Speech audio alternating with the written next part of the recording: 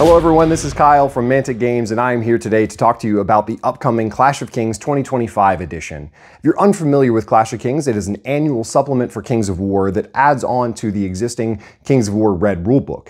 This book will supersede everything that was in the prior year, so all the prior information from Clash of Kings 2024 will also be found in 2025 with additional updates. Inside, we introduce new lore and background information, and this year especially for the Trident Realm and Forces of the Abyss. There are also standard balance tweaks for all factions in the game, providing everyone with an opportunity to get a nice refresh and potentially tone down some things that are a little bit too much. We take feedback from playtesters and events all around the world to make sure that we have the most balanced game possible. This year, we also decided to take an extra little spice and introduce a concept known as Command Dice. Inside, you'll find rules for how to use these command dice and how they could potentially add feedback and additional flavor to your games.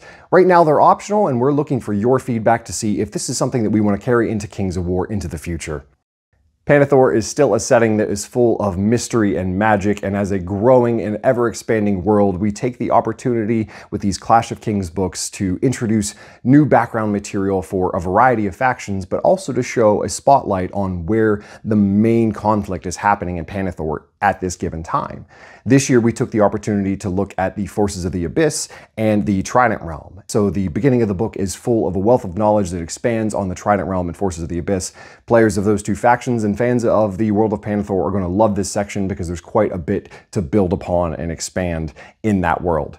We also worked with Christian Byrne, who did some fantastic artwork for both of the factions, and this is something that we can carry forward into Kings of War throughout, throughout the future. It's something that I think that we're very excited about because people are constantly asking us to expand on the feel and the background, all those critical elements, and Clash of Kings does that in spades.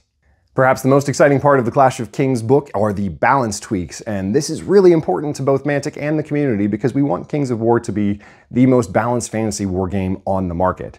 What we do is we collect data from both our playtesters, our online communities, and tournaments out there and see what is going on in the scene and understanding where the game needs to be tweaked. It's important that we give tweaks to all factions across the board. That way everyone is updated all at once and no one is left in the dust.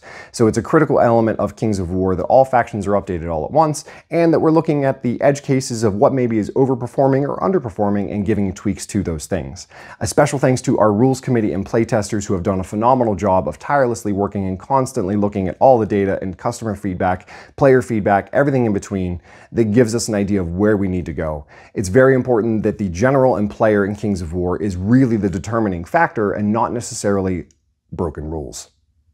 All right, it's time to talk about command dice. These are something that are a part of many Mantic games and we feel creates a separation from other games in the market and allows Mantic games to shine as unique. So with Kings of War, it's been missing, and we wanted to give it a shot and third edition in an optional way that you're highly encouraged to give us feedback on, try out and see if they're going to work. As I mentioned, they're, they're incredibly balanced. They were balanced by both our playtesters and rules committee, and they are meant for competitive play, unlike some other elements of Kings of War that are optional. So this is something that we wanted to introduce and make it so that the points that were tweaked for all the army lists and otherwise had nothing to do with command points. So you're going to get a base set at the start of the turn to roll, as well as an additional set that you can purchase for each of your heroes.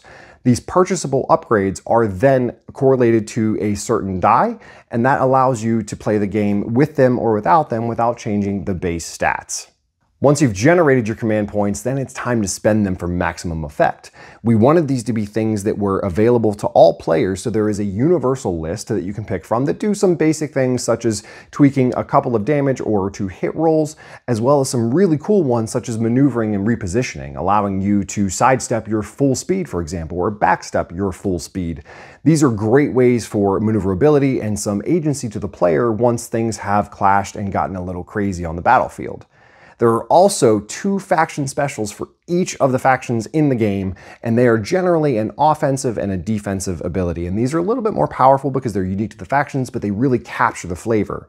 You will see some repeated ones throughout the factions because we wanted to maintain balance as much as possible. But these each provide the player with a, a wonderful opportunity to do some really fun stuff and spend a little bit of those command points to just add a little bit of extra spice to what they're doing in the game. So, in summary, this Clash of Kings book brings a wealth of new lore and art into the world of Pannithor, the standard balance tweaks that are provided for all factions, as well as the printed list for both the Forces of the Abyss and the Trident Realm, bringing them up to date and in line with everyone else, and then the introduction of command dice, which are a fun new way to add some extra mechanics and fun into your games and keep things fresh and interesting. So thank you everyone. The Clash of Kings book is going to be available for pre-order and will be shipping later in October in 2024. Pick up your copies as soon as you can. Thanks guys.